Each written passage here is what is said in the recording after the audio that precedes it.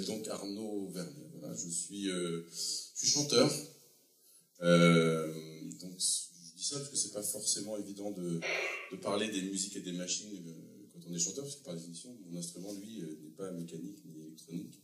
Mais j'ai eu à, le rencontrer à moultes occasions, et donc je vais vous, raconter un peu ma, vision, ma façon d'expliquer ou de raconter ce qu'on a appelé longtemps les musiques électroniques, dans leur ensemble. Hein, on mettait là-dedans euh, tout ce qui était techno, house, euh, et ce genre de, choses. Et puis on mettait aussi d'un autre côté le hip-hop de l'autre. Euh, là, je dis ça dans les années 90, hein, dans ce genre de, de période, voilà, fin 90, tout ça. Et puis, euh, en, en, cherchant et en s'interrogeant sur, sur, ces esthétiques-là, on se rend compte qu'en fait, euh, quand même, une grosse partie, ou à peu près, pas tout, mais une très grosse partie de ces musiques-là, de cette essence-là, de cette, cette sensation musicale-là, vient quand même du, mouvement hip-hop. C'est quand même le, mouvement, euh, on va dire, euh, original, dans lequel il y a euh, vraiment les codes, le vocabulaire, la façon de penser la musique avec des machines. Donc du coup, c'est pour ça que j'ai voulu appeler ça comme ça, hein, les musiques et les machines. Parce que c'est effectivement à partir du moment où les, musiciens populaires, les musiciens de rue, les musiciens qui veulent faire des fêtes, qui veulent jouer simplement des disques et plus les manipuler, ils vont s'approprier en fait les machines pour faire de la musique et du coup ils vont développer en fait une pensée de musique un peu différente de ce qu'il y avait avant. Et c'est ça qui m'intéresse, c'est de vous montrer qu'est-ce que ça fait en fait comme spécificité de faire de la musique avec des machines. Euh, par rapport à de la musique avec des instruments, avec un groupe, avec du live, etc. Voilà. Euh, donc c'est mon axe. Euh, ça veut dire que je vais vous parler beaucoup de, de, de toute cette période de, de, création, de comment ça arrive euh, dans les années 70, les années 80. Euh, et pour ça, je vais commencer par un premier axe. Un premier axe essentiel. Vous n'avez pas de questions déjà sur ce que je viens de dire On ne commence pas à l'origine. On commence à, à l'origine de la pensée de ces musiques-là. Et cette origine-là, je vais la situer en fait dans les années 70 à New York, euh, avec euh, la communauté noire de Brooklyn notamment, de, de, de ces endroits-là. Euh, et euh, dans, ces, dans ces années-là, il va y avoir une communauté jamaïcaine à New York qui va importer une pratique qui existait déjà en Jamaïque qui s'appelait le sound system. L'idée est très simple, hein, c'est d'avoir une sono et de jouer de la musique dans la rue pour faire danser tout le monde tout simplement. Euh, à New York, ça s'appellera, en fait, les fêtes de rue s'appelleront les block parties. Les, fêtes de bloc, les fêtes de quartier. Euh, et pourquoi est-ce que je commence à cet endroit-là précisément? Parce que, euh, pour le coup, à New York, ce qui va vraiment euh, s'inventer, c'est la pratique, la technique du DJing. C'est-à-dire prendre euh, les platines pour jouer des disques vraiment comme des instruments et vraiment, l'énorme révolution, elle va arriver à un moment dans une pratique qu'on appelle le passe-passe. Euh, enfin, on peut l'appeler comme ça, ça a plusieurs noms, mais le passe-passe, c'est pour moi l'image la plus claire. C'est-à-dire que on va prendre un disque euh, d'un morceau, on va le mettre sur une platine, on va prendre le même disque sur une autre, et il va y avoir dans ce morceau quatre mesures, deux mesures, un passage avec juste batterie et basse, par exemple. Ils sont bien cool, hein, parce que ça fait vraiment.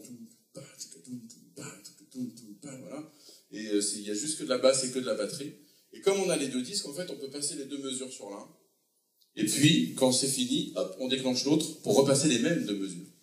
Et puis, quand c'est fini, hop, on déclenche l'autre pour repasser les mêmes deux mesures. Vous voyez, pendant ce temps-là, on recale le premier disque. Ça va? C'est assez clair? Tac, tac, tac, tac, tac. Et du coup, on met en fait ces deux mesures-là en boucle. Et ça nous permet d'entendre ces deux mesures alors là, autant de temps qu'on veut pour faire danser tout le monde jusqu'à l'infini. Vous connaissez tous ça, enfin vous avez tous, euh, je pense, dans votre imaginaire à peu près, euh, cette, idée-là du DJ qui fait durer les disques euh, à vitam aeternam dans les années 70. C'est assez marrant, je ne sais pas si c'est à ça dont, vous faisiez référence, mais euh, c'est vrai que dans les studios un peu euh, avant-gardistes européens, des radios européennes, dans les studios de Paris, de, de, Londres, en Allemagne aussi, il y avait des gens qui avaient, été des, qui avaient fait des recherches dans les années 50 euh, avec le matériel de radio pour pouvoir euh, manipuler le son. Et notamment, ils avaient inventé des disques vinyles où les sillons n'étaient pas, euh, on va dire, c'était pas une espèce de spirale avec une fin, c'était en fait des sillons fermés qui permettaient d'enregistrer quelque chose en boucle aussi qui tournait comme ça à l'infini. Donc ils avaient fabriqué ça, voilà. Et là, les DJ euh, new-yorkais, euh, les DJ de Brooklyn, ils ont fait la même chose, mais on va dire à la main, qui est moyen du bord. Et c'est ce côté à la main qui est assez fantastique, que c'est quand même une technique qui est assez complexe à faire, vous imaginez bien, vous avez très peu de temps pour recaler notre disque, etc. Mais du coup, ils vont, ils vont pouvoir saisir ces petits moments dans les morceaux, ces petits moments de deux mesures, qu'on appelle un break. Un B-R-E-A-K, c'est-à-dire une cassure dans la musique. Vous avez, euh, je sais pas, tout l'orchestre qui joue, les cuivres, le chanteur, patati, patata. Et puis à un moment donné, on fait juste un break pour, euh, pour respirer. Et il y a juste le batteur et, le bassiste qui font de mesure à vide. Vous voyez, enfin, quand je dis à vide, les autres jouent pas. Et c'est ça que les DJ vont capter. Ils vont prendre ces breaks et ils vont faire danser et tourner tout New York avec ça pendant euh, toutes les années 70. Ça peut avoir l'air anecdotique comme ça, et pourtant, le fait d'avoir fait ça, euh, bah, ça a changé l'histoire de la musique. Voilà. Pourquoi? Il y a quatre raisons. Il y a quatre raisons qui font que euh, d'avoir pensé à prendre ces breaks et les mettre en boucle, on a changé la façon de rentrer dans la musique. La première raison, évidemment, c'est que déjà, on fait de la musique avec des sons qui ont déjà été enregistrés ou joués par d'autres musiciens. Cette idée de s'approprier, de recycler, vous voyez, quelque chose qui a, qui a déjà fait par quelqu'un d'autre, c'est de dire, voilà, moi je vais faire un morceau, je prends les deux mesures du gars et je fais mon morceau. D'accord? Évidemment, aujourd'hui, on est en 2013, on a entendu à peu près des, kilomètres de musique qui sont faits avec ces recyclages, avec ce qu'on appelle du sample, enfin, j'y reviendrai tout à l'heure, mais à l'époque, en, 70-72, le sample n'existe pas encore. Euh, on a entendu des tonnes de choses de recycler. Mais à l'époque, euh, c'était extrêmement euh, en rupture avec la démarche des musiciens traditionnels, voilà, qui jouaient leur musique, il fallait qu'ils se mettent à la batterie, à la guitare pour faire quelque chose. Donc ça, c'est vraiment une première chose, c'est la dimension de recyclage qui donc va essaimer dans toutes les musiques dont je vais vous parler dans les années qui viennent. La deuxième dimension, bah, c'est rythmiquement cet aspect répétitif, mais surtout statique. Alors j'insiste beaucoup sur cet aspect statique du rythme. C'est-à-dire que si je prends les mêmes deux mesures hein, jouées par sur un disque et que je les répète pendant 5 minutes ou 7 minutes d'un morceau, vous voyez bien qu'on ne peut pas avoir de changement d'accent, on peut pas avoir d'accentuation, on peut avoir on peut pas avoir de moments plus forts, hein, joués par le batteur euh, plus fort ou moins fort. On a forcément une stase, c'est-à-dire qu'on a forcément quelque chose d'isodynamique pendant tout le long des, des, des, 7 minutes. On a une rythmique qui ne bouge pas et qui est euh, tout le temps à la même dynamique. Ça, c'est aussi une rupture, puisqu'on ne connaissait pas vraiment ça. On n'avait pas cette sensation-là d'écouter de la musique pendant 7 minutes à la même dynamique, vous voyez C'est vraiment un truc qui, qui, semblait, même pour plein de musiciens, pour plein plein de gens, amusical. Vous voyez Même, il, y a, beaucoup de gens à l'époque, beaucoup de musiciens, si on, quand on leur disait ça, bah voilà, écoute la musique de tel DJ, et c'est euh, le même rythme, ils me disent, mais c'est pas de la musique. Mais c'est pas ça, la musique. La musique, c'est quand ça bouge, quand on s'écoute, c'est quand il y a un refrain plus fort qu'un couplet. Vous voyez? Donc c'est une rupture et c'est quand même une révolution hyper importante pour les oreilles. Aujourd'hui, c'est pareil. finalement, nous, on a, on a, dans notre génération, on a cette culture-là. On connaît bien ces morceaux-là qui sont compressés à la même dynamique pendant tout le long. Vous voyez je veux dire? On, l'a dans l'oreille. Mais pour l'époque, c'est chelou. Et d'ailleurs, même pour aujourd'hui, moi j'ai des élèves euh, en cours de musique qui ont, 10 ans ou 12 ans. Si je leur amène un morceau des années 70, ils vont être gênés en fait par la dynamique. Vous voyez? Fait que ça bouge, que le rythme il est n'est pas toujours au même truc, ça va, ils vont, avoir du mal à écouter dans un premier temps. Parce qu'aujourd'hui, c'est presque l'inverse. Même dans les musiques où il y a des musiciens, on essaie d'éditer les batteries, on les, réédite pour qu'on ait une homogénéité dynamique. Vous voyez On est carrément basculé dans une oreille euh, qui a, presque pris l'inverse, le prix inverse. Étonnant. Vous voyez à quel point cette révolution-là, elle est vachement importante. Toujours dans la même chose hein, de faire qu'on on fait boucler les deux mêmes mesures. C'est quand même assez fascinant. Troisième aspect, évidemment, euh, qu'il y a dans le breakbeat, puisque c'est ce qu'on va appeler le breakbeat, hein, le rythme du break, le fait de, de, boucler ces deux mesures, fait que comme c'est toujours des mesures avec que basse et batterie, au pire il y a un petit joint de guitare qui traîne parce qu'on n'avait pas le choix, mais, vraiment l'idée c'est d'avoir basse-batterie, ben, on va créer des musiques, euh, on va créer une sensation de musique qui va reposer quand même énormément sur euh, grosse caisse basse, quoi. Vous voyez, sur le côté rythme, quoi. Voilà. À partir du moment où il y a grosse caisse et basse, j'ai un morceau. Ça aussi, c'est assez radical, vous voyez. J'ai même pas besoin d'avoir une mélodie, j'ai pas besoin d'avoir un, piano qui joue des accords, on, s'en tape. Si j'ai une basse et une grosse caisse, j'ai un morceau. Bon, ça pour le coup, ça fait appel aussi à des traditions euh, de la musique noire, hein, de la musique africaine, des choses comme ça. Donc il y a vraiment quelque chose qui vient de loin là-dedans. Mais en tout cas, ça le cimatise. C'est-à-dire qu'à partir du moment où on va utiliser ce breakbeat, on rentre vraiment dans, le, le, tout grosse caisse, euh, caisse. Quoi. Voilà. Et on voit, vraiment ça tout le temps. On a vraiment des morceaux, il y a juste une voix, euh, quelques percus et une basse. Ça suffit pour faire des super morceaux. Voilà, donc ça c'est la troisième dimension, c'est l'aspect orchestral. Et puis enfin la quatrième dimension.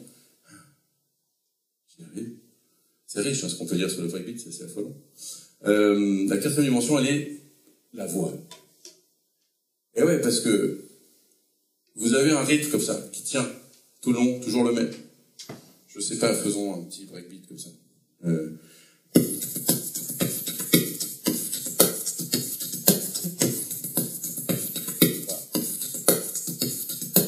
on imagine, on a pris pour faire une basse quand même, parce qu'il y a souvent une basse.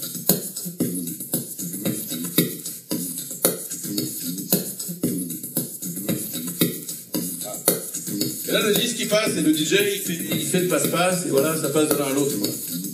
Et après, il y a quelqu'un, un vocaliste qui va arriver. Et dans les blocs parties, on appelle ça un MC. On appelle ça un maître de cérémonie. Il est là pour mettre l'ambiance. D'accord Et donc, il va dire, ça va Sergi Vous êtes bien là, vous êtes installés, vous êtes dans vos fauteuils, vous êtes cool Eh bien maintenant, la musique, il faut qu'elle vous fasse bouger. Il faut qu'elle prenne vos pieds, qu'elle prenne vos genoux, qu'elle prenne vos jambes, qu'elle prenne votre nez, qu'elle prenne votre oreille, qu'elle prenne tout chez vous, qu'elle prenne le pouvoir. D'accord Voilà. Donc, c'est comme ça qu'on va inventer ce qu'on appelle le rapping. Hein, le fait de rapper, de rapper des mots sur de la musique, voilà. C'est pour euh, vraiment, c'est au service de l'ambiançage. Hein, on dit toujours ça euh, chez les Africains, ambiancer, c'est vraiment un truc qu'on connaît depuis des, siècles aussi. C'est un rôle vraiment, euh, MC, c'est un rôle qui vient de très très loin dans les traditions. Mais donc, le problème que pose ce rythme, c'est que tout ce qui va être la dynamique, hein, tout ce qui va être la vie du morceau, elle tient la voix en. Parce que là, sinon, on est tous morts hein, au bout d'une minute.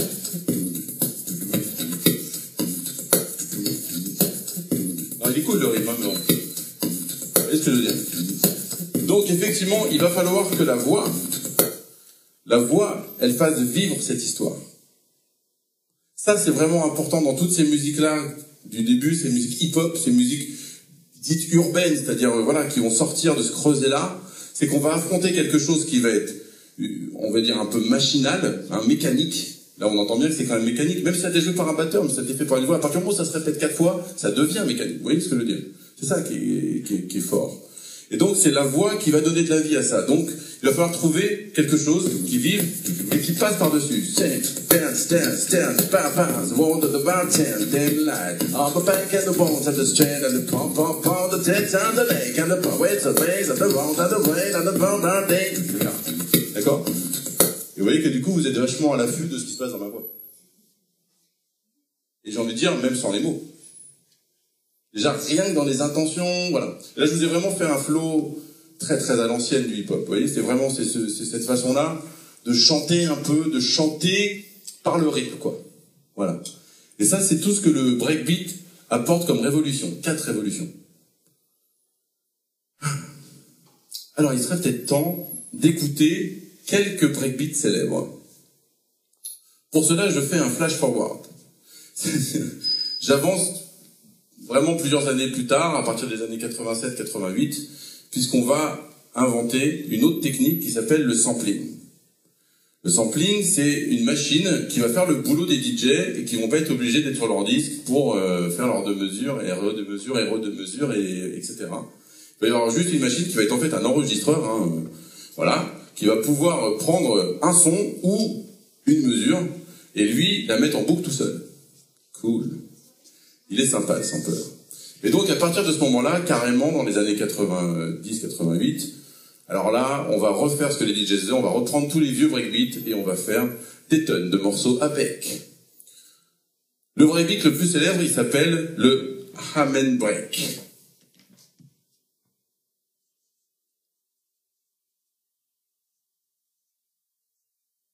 Alors pourquoi il s'appelle le Amen Break? Parce que en fait, il est issu d'un morceau euh, des Amen Brothers, justement.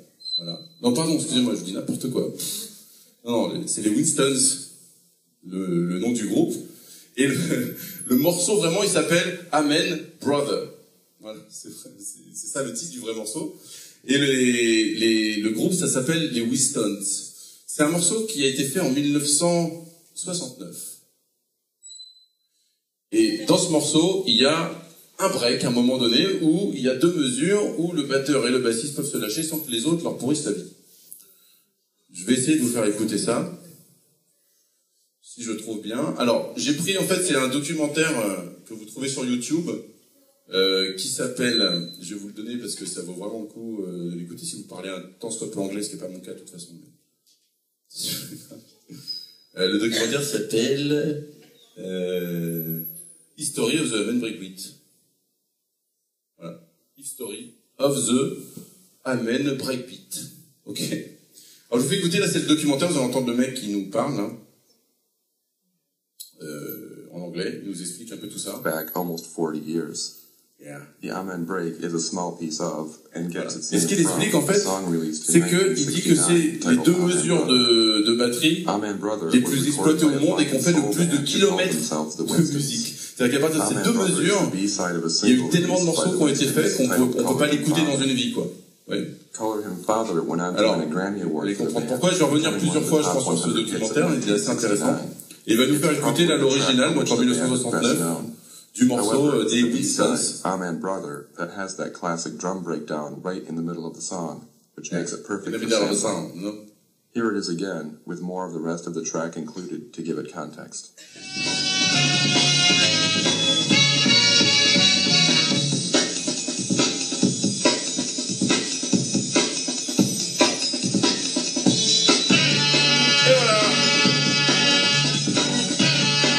Là déjà vous le connaissez.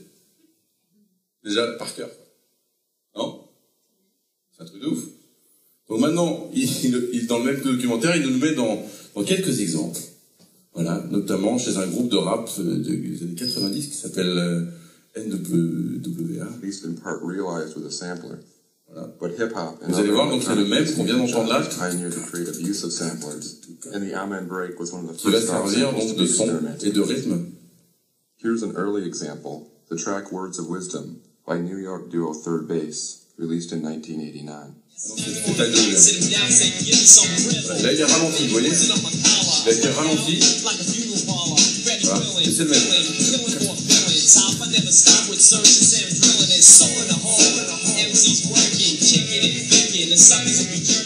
And here's another example: NWA's track "Straight Outta Compton," also from 1989. Straight out of Compton, crazy motherfucker named Ice Cube. From the gang called niggas with attitudes. When I'm called off, I got a sawed off. Switch the trigger and bodies are hauled off. You too, boy, if you fuck with me. The police are gonna have to come and get me. Finally, here is Mantronics with "King of the petit Beats" from quand même, ça 1990.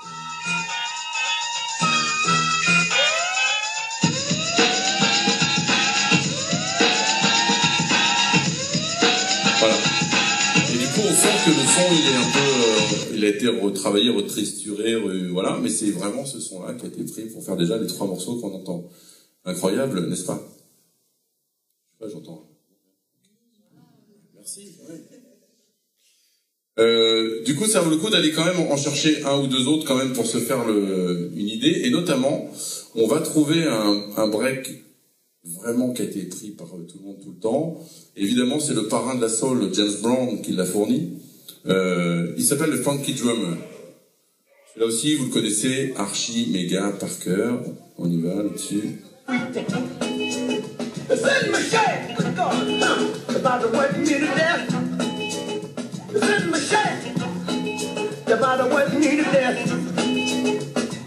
Attention, ça, ça, c'est pas le break. Hein.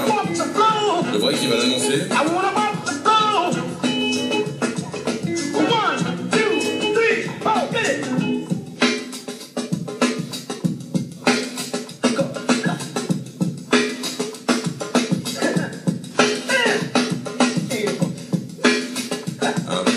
C'est bien aussi, celui-là. Là, t'as genre le 1, 2, 3 de- d'avant, là, on entend pas le morceau aussi. One, two, three, four. Et voilà. Et donc on peut l'entendre par exemple dans ce morceau d'un groupe dont je parlerai peut-être tout à l'heure euh, si tout va bien. Euh, s'appelle Public Enemy. Euh, un groupe donc de pareil, de la fin des années 80, on est en 88 je crois, voilà. Public Enemy, Break the Noise. Back in effect with me, Westwood, living large. And it's time to bring the noise. A video produced and directed by Dominic Savage and Oscar Ouais, c'est un Uvison. journaliste qui parle. Credible, rhyme animal, big and cannibal. Public enemy number one, five both say free. And I got none. Mais là, pour le coup, j'ai un petit Never peu really accéléré. never had a gun, but it's the wax that determined it ain't fun. Now they got me in the cell, cause my records they sell, cause a brother like me said, well, Farrakhan's a prophet and nothing you wanna listen to. What they can say to you, what you wanna do is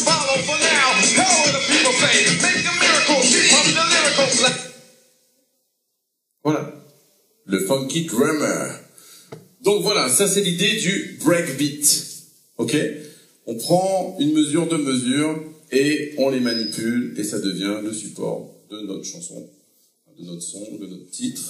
Euh, on va pouvoir effectivement, euh, à partir du moment où on va rentrer dans le sampling, carrément là, euh, péter les plombs sur le breakbeat et en faire des tonnes, des kilotonnes et des kilo-kilotonnes. Mais du coup, comme je vous l'ai dit, on a inventé le sampler.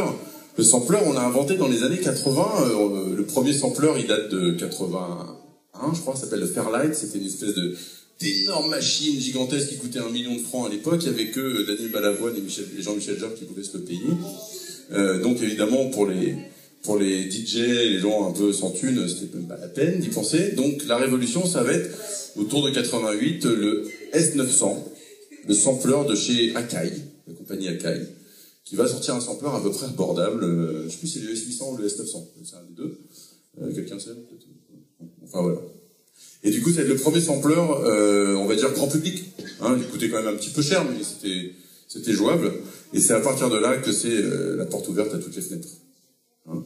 Et on le verra dans, dans plein de styles, c'est pas que dans le hip-hop, c'est-à-dire que ce sera aussi dans la house et dans tout, tout ce, ce type de- d'expression. Mais là, j'anticipe trop, revenons, revenons, revenons s'il vous plaît à la fin des années 70. Euh, parce que effectivement, tant qu'on n'a pas le sampler, on va avoir besoin du DJ pour tourner, ou alors on va avoir besoin de musiciens. Tristesse. Vous voyez ce que je veux dire? C'est-à-dire qu'on va être obligé de demander à des musiciens de jouer euh, une musique pour poser les rappeurs. quoi. C'est ce qui va se passer dans la fin des années 70 et euh, le début des années 80. Quand même, je suis obligé d'aller du coup dans l'histoire et le premier tube de rap euh, qui a jamais existé, qui a jamais été enregistré euh, dans la vie des hommes et de l'univers. Euh, ce tube s'appelle le Rapper's Delight, le délice du rappeur. Ça, je pense que vous connaissez aussi tous par cœur. Mais ça vaut le coup de le resituer. Le Rapper's Delight, il, est enregistré en 1979.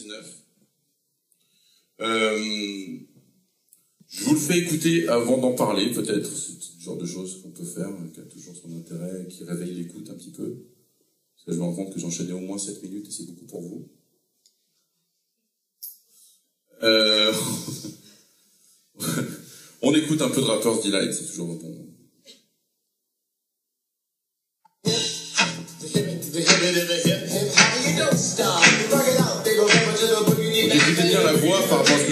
Tout à l'heure, what you hear is not a test, I'm rapping to the beat. And me, the groove, and my friends are gonna try to move your feet. You see, I am Wonder Mike, and I like to say hello. Up to the black, to the white, the red, and the brown, the purple, and yellow. But first, I gotta bang, bang, the boogie to the boogie. Say up, jump the boogie to the bang, bang, boogie, let's rock. You don't stop, rock the rhythm that'll make your body rock. Well, so far you've heard my voice, but I brought two friends along. And next on the mic is my man Hank. Come on and sing that song. Check it out. When I'm imp the dimp, the ladies pimp, the women fight for my delight, but I'm the great. Voilà, ils sont trois, hein, c'est trois rappeurs. Euh, donc vous avez entendu, c'était un petit peu dans l'idée du flow que je vous ai fait tout à l'heure. Euh, alors par, par rapport à la musique, c'est vrai que ce qu'on peut dire, c'est que ce qu'on entend là derrière et qui joue sous eux, c'est c'est ça en fait. Hein. Si je me trompe pas. J'espère ne pas me tromper.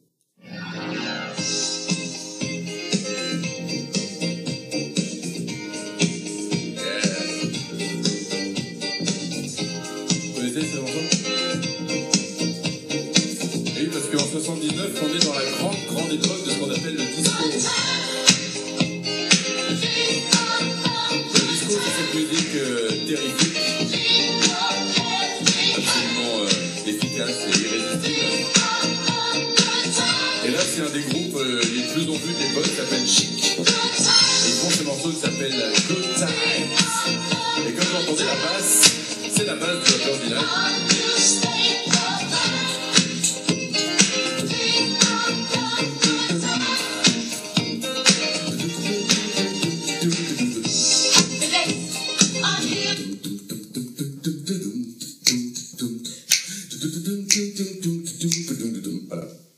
on peut dire que quelque part, il y a cette idée de breakbeat quand même, parce que ils ont mis cette basse en boucle, quand même.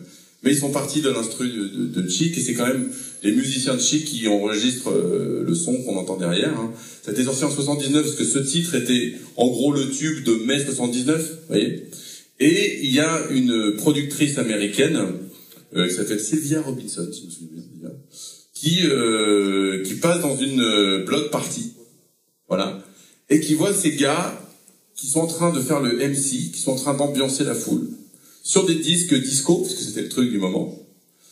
Elle entend les gars faire ça, voilà, elle se dit, mais c'est mortel, c'est mortel, il faut absolument enregistrer ça, c'est un truc de ouf. Personne ne l'avait fait. Parce que pour tout le monde, c'était, bah, juste voilà, on est en soirée, euh, il y a un mec là, c'est bon, c'est bon, quoi. C'est normal. Et elle, elle se dit, mais ça, c'est, c'est un truc à enregistrer, c'est un truc qui existe nulle part. Et en fait, le rappeur Delight, elle le fait donc à la fin 79, et ça a encore mieux marché que le morceau Chic. Ça a été un carton monumental planétaire, planétaire dans toute la, toute la planète et tout. C'était vraiment un énorme carton. Donc ça a ouvert, ça ouvre finalement euh, les portes hein, de la musique rap. Voilà. Et là, comme on le voit, c'est sur euh, un instrumental d'un morceau disco. Et donc, on n'est pas encore arrivé à, on va dire, l'expression musicale du rap en tant que tel. Puisque là, le rap, pour l'instant, il se pose sur le disco ou sur la funk, comme on a entendu tout à l'heure, hein, sur les disques que passent les DJ, la soul, la funk euh, et le disco. Mais pour l'instant, le rap n'a pas encore son expression musicale. On est d'accord? Alors, comment est-ce qu'il va la trouver, cette expression musicale-là? Il va la trouver pas loin après ça, et il va la trouver en fait en Allemagne.